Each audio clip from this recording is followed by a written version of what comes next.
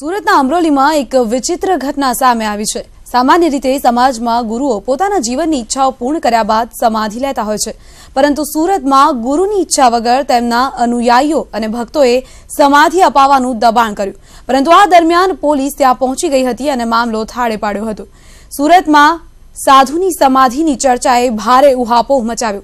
અહીં અમરોલી વિસ્તારમાં શ્રીરામ ચોકડી પાસે જીવતા જાગતા ગુરુ સમાધિ લઈ રહ્યા હોવાની વાત વાયુવેગે ફેલાઈ ગઈ. આ અંગે લોકોમાં ચર્ચા ચાલી રહી હતી કે ગુરુ પોતે સમાધિ લેવા નથી ઈચ્છતા, પરંતુ તેમના અનુયાયી અને ભક્તો દ્વારા તેમને સમાધિ લેવાનું દબાણ કરવામાં આવી રહ્યું છે અને જબરદસ્તીથી સમાધિ લેવડાવવામાં આવી રહી છે. જો કે કેટલાક લોકોનું કહેવું છે કે ગુરુ જાતે જ સમાધિ લેવા ઈચ્છી રહ્યા છે. તો બીજી બાજુ આ અંગે ગુરુ કે અનુયાયીઓએ કોઈ જ પ્રતિક્રિયા નથી આપી.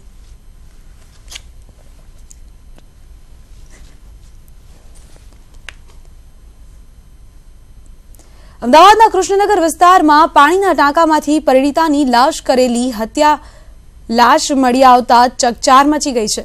પરિણીતાના સાસરિયા પર હત્યાનો આરોપ લાગ્યો છે ત્યારે પોલીસે હત્યા સહિત અનેક કલમ હેઠળ ફરિયાદ દાખલ કરી તેના પતિ સહિત પાંચ લોકોની અટકાયત કરી પૂછપરછ શરૂ કરી છે. મૃતકના પિતાનો આરોપ છે કે તેમની પુત્રીને તેના પતિ જેઠ જેઠાણી અને સાસુ સસરાએ દહેજ માટે હત્યા કરીને ટાંકીમાં ફેંકી દીધી હતી.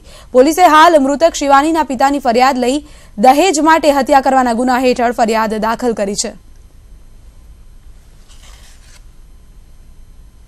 જેમાં એક બેનની ડેડ બોડી પાણીની ટાંકીમાંથી મળેલી. ત્યારબાદ એના પીએમ રિપોર્ટમાં એનું ગળું દબાવી અને પાણીની ટાંકીમાં નાખવાનો રિપોર્ટ બહાર આવતા આપણે મરણ જનારના પિતાના ફરિયાદના આધારે ગુનો દાખલ કર્યો છે, જેમાં સાસરિયાઓ વારંવાર દહેજ માટે અને શારીરિક માનસિક ત્રાસ આપતા હતા. અને એ જ કારણસર એની હત્યા નિપજાઈ હોવાનું ફરિયાદમાં જણાવ્યું છે. કલોલના છત્રાલ જીઆઈડીસીમાં ધોળે દિવસે લાખો રૂપિયાની લૂંટ થતા જ પોલીસ દોડતી થઈ ગઈ છે. છત્રાલ જીઆઈડીસીમાં આવેલ એક્સિસ બેંકમાં ત્રણ બુકાનીધારીઓએ આતંક મચાવતા ફાયરિંગ કરીને માત્ર સાત સેકન્ડમાં રૂપિયા ચુમ્માળીસ લાખની લૂંટ ચલાવી અને ફરાર થઈ ગયા. જોકે ઘટનાની જાણ પોલીસને કરતા જ પોલીસની ઊંઘ હરામ થઈ ગઈ છે.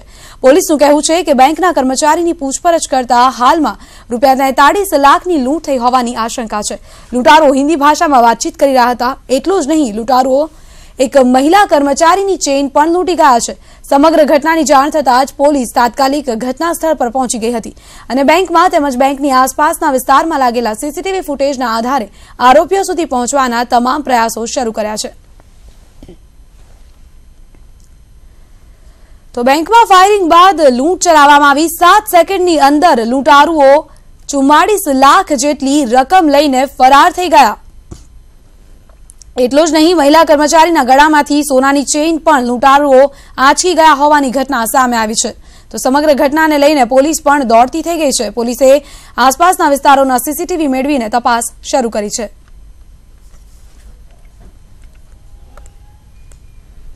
લોકો હિન્દી ભાષી હતા, એમની પાસે દેશી કટ્ટા હતા અને અમે પગારો મેળવવા માટે જુદી જુદી ટીમ પાડી દીધી છે.